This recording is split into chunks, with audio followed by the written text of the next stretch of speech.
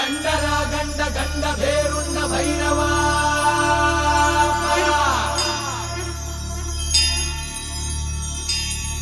ರಾಜ ಮಾತಾಂಡ ಧರ್ಮ ಕೋದಂಡ ಭೈರವ.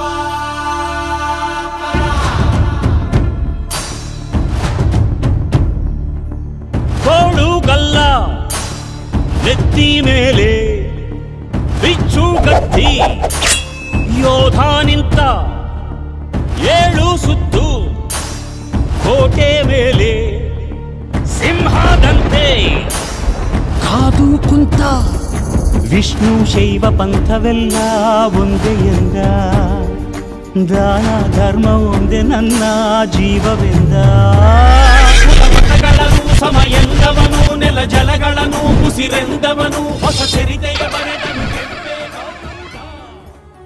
ಕ್ರಿಸ್ತಶಕ ಮುನ್ನೂರೈವತ್ತರಿಂದ ಕ್ರಿಸ್ತಶಕ ಸಾವಿರದವರೆಗೆ ಸರಿಸುಮಾರು ಆರುನೂರು ಐವತ್ತು ವರ್ಷಗಳ ಕಾಲ ಅಖಂಡ ಭಾರತವನ್ನು ಆಳ್ವಿಕೆ ಮಾಡಿದ ಕನ್ನಡ ನಾಡಿನ ಶ್ರೇಷ್ಠ ರಾಜಮನೆತನದಲ್ಲಿ ಒಂದಾದ ಗಂಗಾ ಸಾಮ್ರಾಜ್ಯದ ಮುಂದಿನ ಪೀಳಿಗೆಯೇ ಯಲಹಂಕದ ನಾಡಪ್ರಭು ಕೆಂಪೇಗೌಡರು.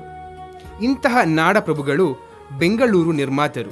ಸುಮಾರು ಐನೂರು ವರ್ಷಗಳಷ್ಟು ಹಿಂದೆಯೇ ವ್ಯಾಪಾರಿಗಳನ್ನು ಕರೆತಂದು ಅಗತ್ಯ ಸೌಲಭ್ಯಗಳನ್ನು ಕಲ್ಪಿಸಿಕೊಟ್ಟು ಅವರವರ ವೃತ್ತಿಗಳಿಗೆ ಅನುಸಾರವಾಗಿ ಪೇಟೆಗಳನ್ನು ನಿರ್ಮಿಸಿಕೊಟ್ಟು ನಗರವು ಬೆಳೆಯಲು ಅನುವು ಮಾಡಿಕೊಟ್ಟ ಕೀರ್ತಿ ಕೆಂಪೇಗೌಡರಿಗೆ ಸಲ್ಲುತ್ತದೆ.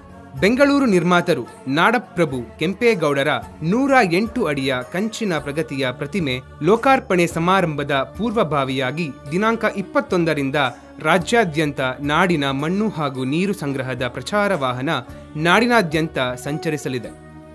ಸಾವಿರದ ಐನೂರ ಮೂವತ್ತೇಳರಲ್ಲಿ ಸಂಕ್ರಾಂತಿಯ ದಿನ ನಾಡಪ್ರಭು ಕೆಂಪೇಗೌಡರು ಸಂಜೆ ಗೂದೂಳಿಯ ಸಮಯದಲ್ಲಿ ಹೊನ್ನೇರು ಕಟ್ಟುವ ಮೂಲಕ ಬೆಂಗಳೂರು ನಗರ ನಿರ್ಮಾಣಕ್ಕೆ ಕೈ ಹಾಕಿದರು. ಬೆಂಗಳೂರು ನಗರ ನಿರ್ಮಾಣ ಕೆಂಪೇಗೌಡರ ವೈಜ್ಞಾನಿಕ ಕಲ್ಪನೆಯಾಗಿದ್ದು, ಪೆನೆನ್ಸುಲಾರ್ ನೈಸ್ ಎಂಬುವ ಪರ್ವತ ಶ್ರೇಣಿಯ ಮೇಲೆ ನಿಂತಿದೆ. ಹಾಗಾಗಿ ವಾಸಯೋಗ ನಗರಗಳ ಪೈಕಿ ಬೆಂಗಳೂರು ಸಹ ಅಗ್ರಸ್ಥಾನದಲ್ಲಿದೆ. ಜೊತೆಗೆ ಸಮಶೀತೋಷ್ಣವನ್ನು ಹೊಂದಿದೆ. ಇನ್ನು ಮುಂದುವರೆದು ಹೇಳುವುದಾದರೆ, ನಾಡಪ್ರಭು ಕೆಂಪೇಗೌಡರು ಕಟ್ಟಿದ ಬೆಂಗಳೂರು ಸ್ಥಳೀಯ ರಾಜರೋರ್ವರು ಕಟ್ಟಿದ ಏಕಮಾತ್ರ ನಗರ. ಹೈದರಾಬಾದ್, ಬಾಂಬೆ, ಡೆಲ್ಲಿ, ಕಲ್ಕತ್ತಾ, ಮಡ್ರಾಸ್ ಇವುಗಳೆಲ್ಲವೂ ಬ್ರಿಟಿಷರು, ಡಚ್ಚರು, ಪೋರ್ಚುಗೀಸರು ತಮ್ಮ ವಾಸಕ್ಕಾಗಿ ಕಟ್ಟಿಕೊಂಡ ನಗರವಾಗಿದೆ.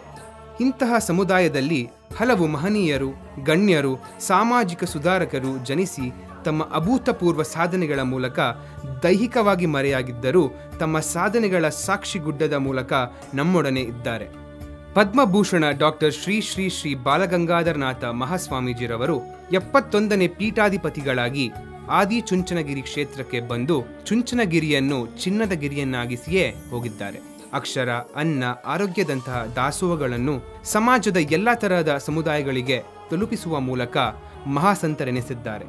ಭಾರತದ ಪ್ರಧಾನಮಂತ್ರಿಗಳಾಗಿ ದೇಶವನ್ನು ಆಳ್ವಿಕೆ ಮಾಡಿದ ಮಣ್ಣಿನ ಮಗ ಎಚ್ ಡಿ ದೇವೇಗೌಡರವರು ಸ್ವತಂತ್ರ ಪೂರ್ವದಲ್ಲೇ ಮೈಸೂರು ಸಂಸ್ಥಾನದಲ್ಲಿ ಜಾತ್ಯತೀತ ಸಿದ್ಧಾಂತವನ್ನು ಹೊಂದಿ ಹಿಂದುಳಿದ ವರ್ಗಗಳಿಗೆ ಮೀಸಲಾತಿ ದೊರಕಬೇಕು ಎಂದು ಶ್ರಮಿಸಿದ ಕೆಎಚ್ ರಾಮಯ್ಯನವರು. ಕರ್ನಾಟಕ ರಾಜ್ಯದ ಪ್ರಥಮ ಮುಖ್ಯಮಂತ್ರಿಯಾಗಿ ಕೆಸಿ ರೆಡ್ಡಿರವರು, ಎರಡನೇ ಮುಖ್ಯಮಂತ್ರಿ ಹಾಗೂ ವಿಧಾನಸೌಧದ ನಿರ್ಮಾತರೂ ಆದ ಕೆಂಗಲ್ ಹನುಮಂತಯ್ಯನವರು, ಮೂರನೇ ಮುಖ್ಯಮಂತ್ರಿಗಳಾಗಿ ಕಡದಾಳ್ ಮಂಜಪ್ಪನವರು, ಎಚ್ ಡಿ ದೇವೇಗೌಡರು ಎಸ್ ಎಂ ಕೃಷ್ಣರವರು, ಎಚ್ ಡಿ ಕುಮಾರಸ್ವಾಮಿರವರು, ಸದಾನಂದ ಗೌಡರು ಮುಖ್ಯಮಂತ್ರಿಗಳಾಗಿ ರಾಜ್ಯವನ್ನು ಯಶಸ್ವಿಯಾಗಿ ಆಳ್ವಿಕೆ ನಡೆಸಿದ್ದಾರೆ. ಕನ್ನಡ ನಾಡಿಗೆ, ಕನ್ನಡ ಭಾಷೆಗೆ ಕೀರ್ತಿ ತಂದವರು ಪ್ರಥಮ ಜ್ಞಾನಪೀಠ ಪ್ರಶಸ್ತಿ ಪುರಸ್ಕೃತರು ರಾಷ್ಟ್ರಕವಿ ಎನಿಸಿದ ಮಹಾನ್ ಕವಿ ಕುವೆಂಪುರವರು. ಸಮುದಾಯದಲ್ಲಿ ಪದ್ಮ ಪ್ರಶಸ್ತಿ ಪುರಸ್ಕೃತರಿಗೆ ಏನು ಕಡಿಮೆಯೇ? ಹಾಲಕ್ಕಿ ಒಕ್ಕಲಿಗ ಸಮುದಾಯದ ಶುಕ್ರಿ ಬೊಮ್ಮನಗೌಡ ಹಾಗೂ ತುಳಸಿ ಗೌಡರು ತಮ್ಮ ಸಾಮಾಜಿಕ ಸುಧಾರಣೆ ಹಾಗೂ ಸೇವೆಗಾಗಿ ಪ್ರತಿಷ್ಠಿತ ಪದ್ಮ ಪ್ರಶಸ್ತಿಗಳನ್ನು ಪಡೆದುಕೊಂಡಿದ್ದಾರೆ. ತೋಟಗಾರಿಕೆ ಇಲಾಖೆ ಎಂಬ ಪರಿಕಲ್ಪನೆಯನ್ನು ತಂದು ರೈತರು ವಾಣಿಜ್ಯ ಬೆಳೆಗಳನ್ನು ಬೆಳೆದು ಹಣ ಸಂಪಾದನೆ ಮಾಡಿ ಬದುಕು ಕಟ್ಟಿಕೊಳ್ಳಬಹುದು ಎಂಬುದನ್ನು ತೋರಿಸಿಕೊಟ್ಟವರು ತೋಟಗಾರಿಕೆ ಇಲಾಖೆಯ ಪಿತಾಮಹ ಶ್ರೀ ಎಂಎಚ್ ಮರಿಗೌಡರವರು. ಏಳು ತಂತಿಯ ಪಿಟೀಲು ನುಡಿಸಿ ಜಗತ್ಪ್ರಸಿದ್ಧರಾದವರು ಪಿಟೀಲು ಚೌಡಯ್ಯನವರು. ಭೈರವಿ ರಾಗವನ್ನು ವಿನ್ಯಾಸಗೊಳಿಸಿ ಅದನ್ನು ಯಶಸ್ವಿಗೊಳಿಸಿದವರು ಭೈರವಿ ಕೆಂಪೇಗೌಡರು. ಇಂತಹ ಮಹನೀಯ ವ್ಯಕ್ತಿಗಳು ನಮ್ಮ ಸಮುದಾಯದಲ್ಲಿ ಹುಟ್ಟಿರುವುದು ನಮ್ಮೆಲ್ಲರ ಹೆಮ್ಮೆಯ ವಿಷಯ. ಇದೇ ನವೆಂಬರ್ ಹನ್ನೊಂದರಂದು ನಾಡಪ್ರಭು ಕೆಂಪೇಗೌಡರ ನೂರ ಎಂಟು ಅಡಿಯ ಕಂಚಿನ ಪ್ರಗತಿಯ ಪ್ರತಿಮೆಯು ಬನ್ನಿ ನಾಡ ಕಟ್ಟೋಣ ಎಂಬ ಘೋಷವಾಕ್ಯದಿಂದ ಲೋಕಾರ್ಪಣೆಗೊಳ್ಳುತ್ತಿದೆ. ತಾವೆಲ್ಲರೂ ಹೆಚ್ಚಿನ ಸಂಖ್ಯೆಯಲ್ಲಿ ಬಂದು ಈ ಕಾರ್ಯಕ್ರಮದಲ್ಲಿ ಭಾಗವಹಿಸಬೇಕೆಂದು ಮೈಸೂರು ಹಾಗೂ ಚಾಮರಾಜನಗರ ಜಿಲ್ಲಾ ಒಕ್ಕಲಿಗ ಸಂಘದ ಪರವಾಗಿ ಕೋರಿಕೊಳ್ಳುತ್ತೇವೆ.